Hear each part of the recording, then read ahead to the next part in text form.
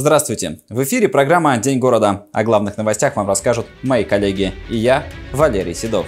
Новый министр труда, ремонт интернациональный и изменения в бюджет. Основные итоги заседания правительства.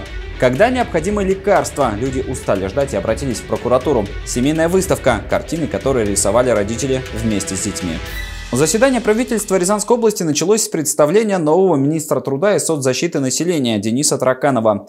Губернатор подчеркнул, что чиновник – победитель конкурса управленцев «Лидеры России», а наставник его – федеральный министр труда и соцзащиты Антон Котяков. Губернатор отметил, что теперь перед чиновником стоят задачи по совершенствованию системы соцподдержки граждан с учетом масштабной перенастройки всех органов соцобеспечения, которые планируются в 2026 году. О других темах далее. Тема номер один – это дороги. Поговорили о поручении губернатора о ремонте всех въездных путей в город. Половина из них уже отремонтирована. В прошлом году сделали въезд из Тулы. До конца сентября закончат капремонт на границах с Липецкой и Тамбовской областями. Об этом рассказал министр транспорта Павел Супрун. Павел Малков отметил, что все въездные дороги нужно привести в порядок, как и стелы на этих участках. Другое обращение из соцсетей касалось дороги на Интернациональной. Дескать, там и ОКБ, и ОДКБ, а подъезд к больницам оставляет желать лучшего. Дорога интернациональная, конечно, нужен ремонт. Но на сегодняшний день мы пока не заказывали проект. Хотели ходатайствовать по, э, под ключ этот проект на следующий год, если Минтранс нас поддержит. В этом году прошли отбор э, на завтра будет подписано распоряжение Минтранса и будем делать э, картами на 22 миллиона рублей то, что мы сможем сделать в этом году. Также, я говорю, хотел подать перед Минтрансом э, двухлетний контракт ремонта этой дороги. По схеме транспортного сообщения там даже предусмотрена выделенная полоса и расширение дороги. Спрашивали горожане и про строительство школы в Олимпийском городке. Пока все на уровне слухов. Кто-то узнал от кого-то, что где-то будет новое учебное заведение. На правительстве внесли ясность. Школа будет уже в 2025 году, а 1 сентября в нее уже могут пойти первоклассники. Так как перенос э, в завершении строительства школы в Олимпийском в настоящее время только окончательно определен, сейчас определяем сроки строительных работ. Для того, чтобы зашли дети, нам необходимо, э, зашли следить 1 сентября. Нам необходимо, чтобы работы все были завершены до 20 июля. Успеваем, Дмитрий Александрович, к июлю?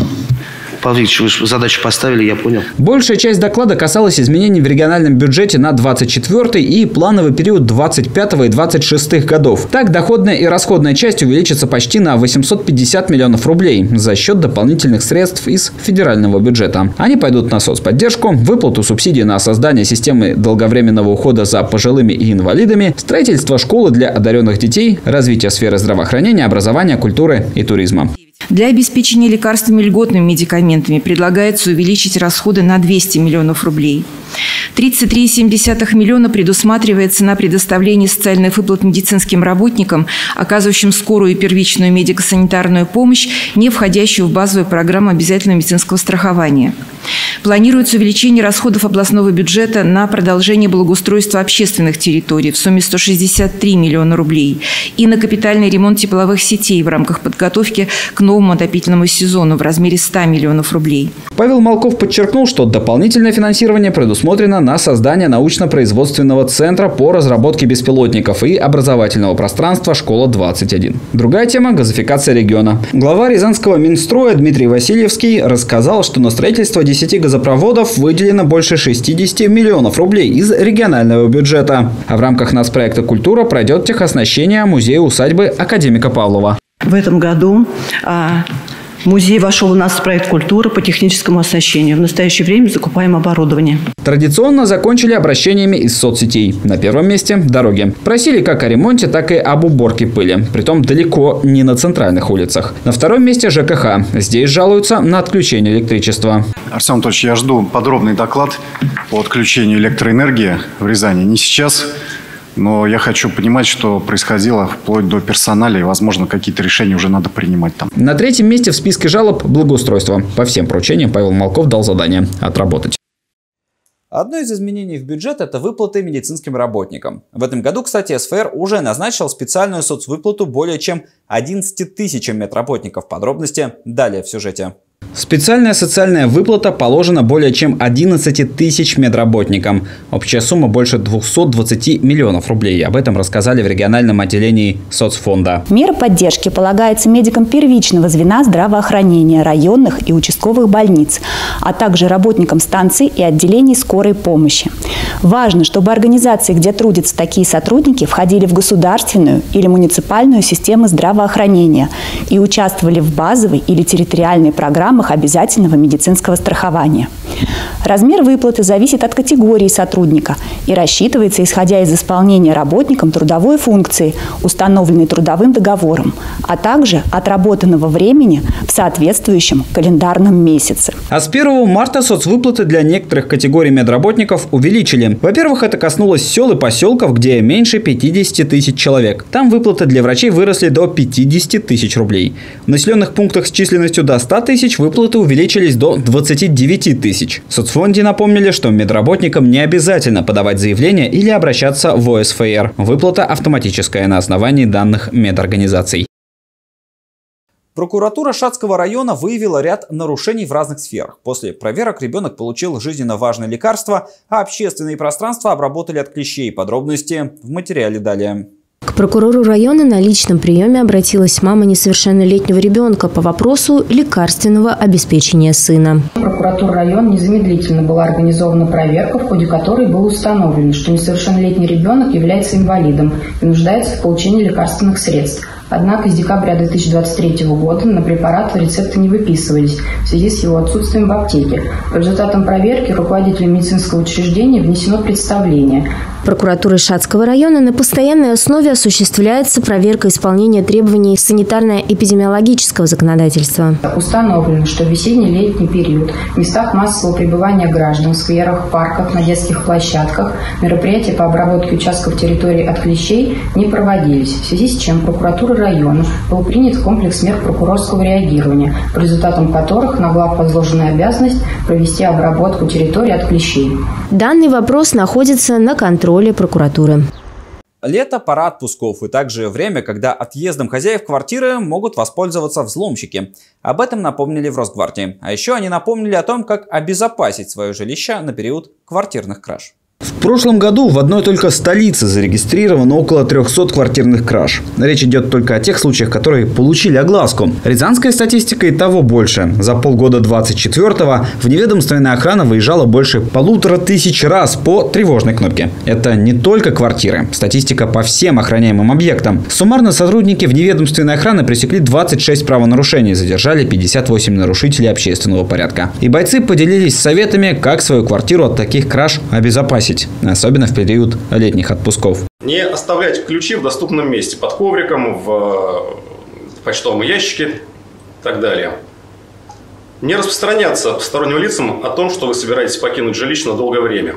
Если все-таки э, собираетесь покинуть жилище на долгое время, попросите по возможности близких друзей, родственников посещать ваше жилище, ваше отсутствие, поливать цветы, включать свет, забирать газеты с почтового ящика, создавать тем самым эффект присутствия.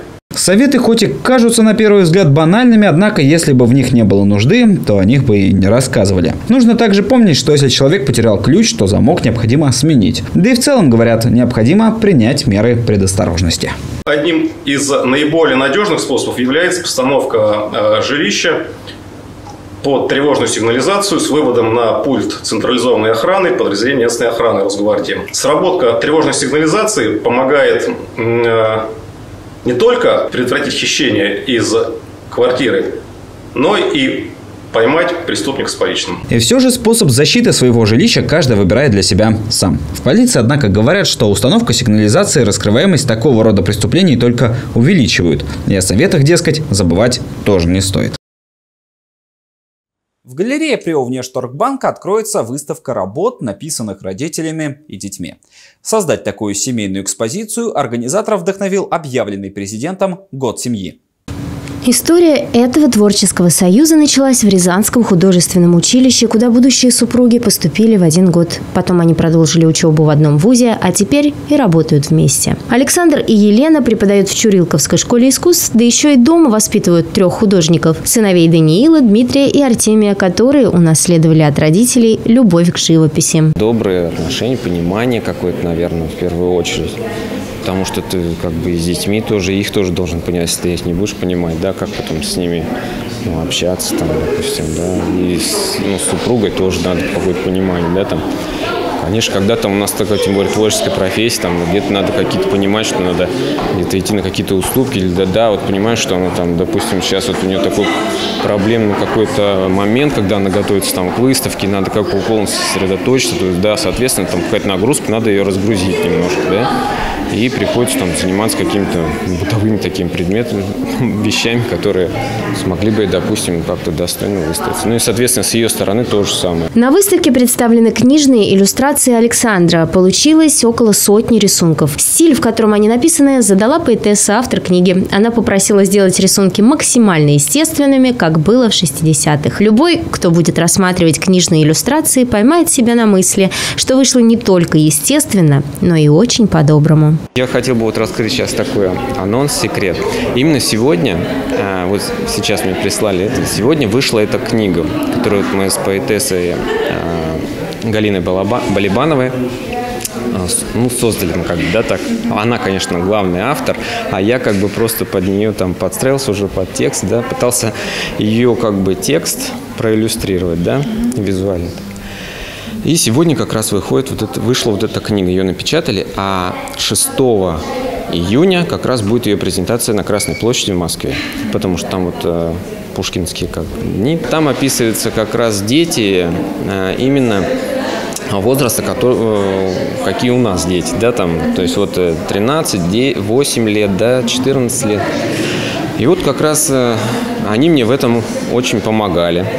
А, в создании вот этих иллюстраций, потому что они и позировали, да, и где-то я за ними там наблюдал какие-то вещи, да, и они действительно так э, очень точно отображены вот именно поэтесс.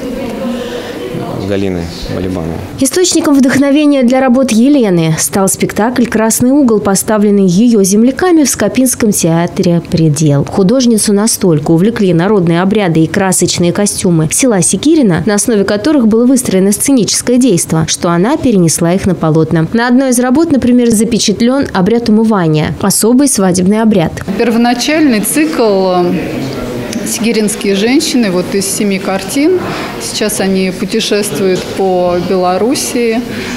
Вот такой турне на полгода. Большой проект. Меня туда московские художники позвали. Вот очень приятно в нем участвовать. Еще две новые работы с платками, тоже посвященные Секирина, тоже там. Вот, а вот это новые этого года работы. И а, как раз одна из них посвященную обряду свадьбы, обряду умывания на одной половице. Как раз именно к этому году семьи специально создавалась. А по детским работам можно проследить, как отличаются характеры мальчишек и чем они увлечены. Сыновья любят писать природу и с удовольствием ходят с отцом на пленеры.